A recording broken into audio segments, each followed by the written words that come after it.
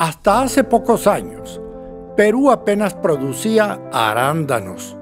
Hoy es el mayor exportador del mundo y empresas agropecuarias de todo el planeta invierten en el país para sumarse a un boom para el que no se atisba un final.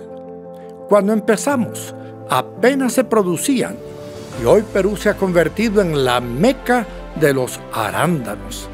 Le dice a BBC Mundo Carlos Gereda, fundador de la compañía Incas Berries y referente en la producción de estos frutos en el país sudamericano.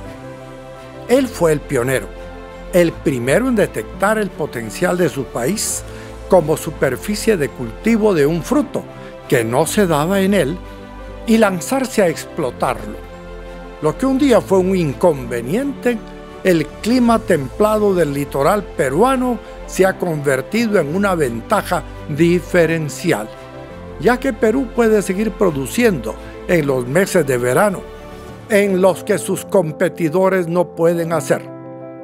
Una aparente desventaja se puede convertir en una oportunidad, un fracaso en una lección.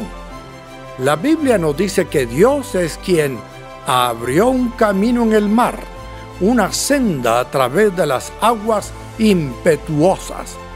Crea en Dios, porque para Él no hay nada imposible.